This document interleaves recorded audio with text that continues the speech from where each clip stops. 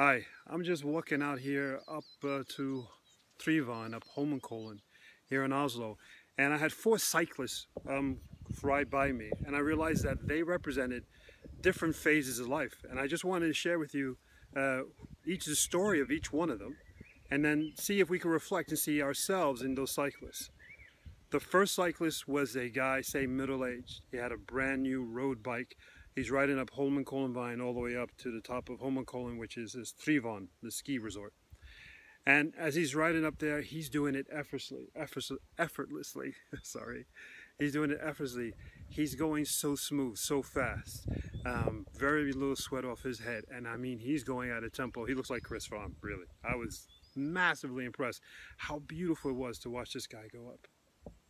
The second cyclist was a weekend warrior a middle-aged guy, kind of a pot, a pot belly.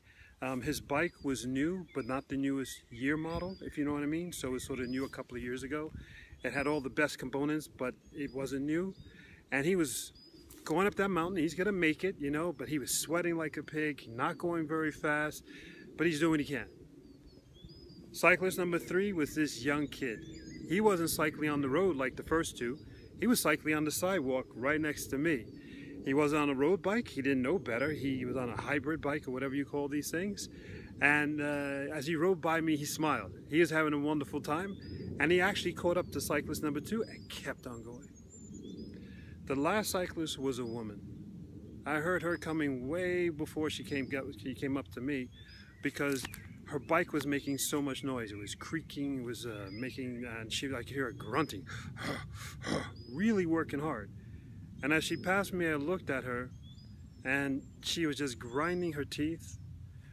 Her bike had more rust than metal. The chain was pure rust. It was creaking and cracking. And this woman was grinding those pedals and she was also going to make it. So I'm not wondering. And it hit me right then and there. I don't know why. That's us, isn't it? Are we the first guy? The guy who's put in the time and the work so that when we actually have to do what we need to do, it's effortless.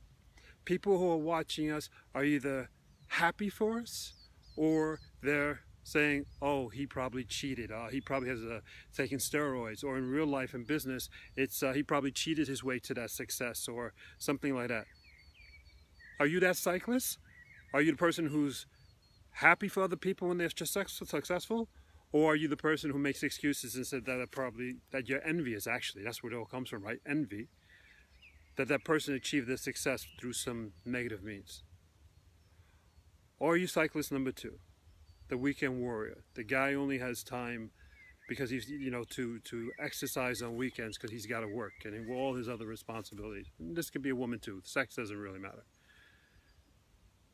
In a moment of impulse, he knew he, he knew he or she was out, out of overweight and they bought a bike to compensate. They bought a membership to a gym, but they never really use it. And when they do use it, it's uncomfortable. But they know they got to do something, so they use it anyway, and they go through the whole experience, and it's better than not going through the whole through experience. But it doesn't really help because the gut is still there, the thick thighs are there, blah, blah, blah, blah, blah. Or are you number three? Are you that young kid who doesn't care? You're going out because it's a beautiful day. You just get a bike and cycle. You don't know the rules of the road. You don't care about the, the rules of the road. And you're going up there and you're just having a wonderful time. And as you experience these experiences, you're smiling at people. Or are you the fourth person? Are you this woman who's a grinder. She was in the house. She probably said, you know what? I'm probably going to meet some friends at the top of the mountain. Uh, it's quicker if I take my bike. Let me just get out there and bike. She doesn't know that she's supposed to have a road bike. Matter of fact, she just says it's a bike. Um, she doesn't know that she's supposed to maintain her bike. She doesn't even know there's rust. She just uses the bike. She just gets there. She's a grinder. It doesn't matter what's in front of her. It doesn't matter the hindrances because she don't see hindrances. She doesn't get a grind to get from A to B. Who are you in these scenarios? Or the fifth one. Surprise. Are you just the observer observing the other four? Observing the cyclists? Observing people doing things, and you're just the fifth one who's just criticizing and watching. I think the one reflection I got from all that was I don't know the answer, but I think the fact that I was able to see this and see these reflections of life when these people rode by me means that in that moment I was open. I was open to learn. I was open to experience. But the one thing I found that I found most interesting was of those four people that went by me, only the young kid smiled. Only the young kid was enjoying the journey. So, are you enjoying your journey? Are you enjoying your ride up the mountain? Or do you feel that your ride up the mountain is only a ride down? This is Thomas Anglero enjoying an absolutely another beautiful day in Norway in the Norwegian forest with cyclists and joggers and all sorts of people. Take care. Soul of Innovation.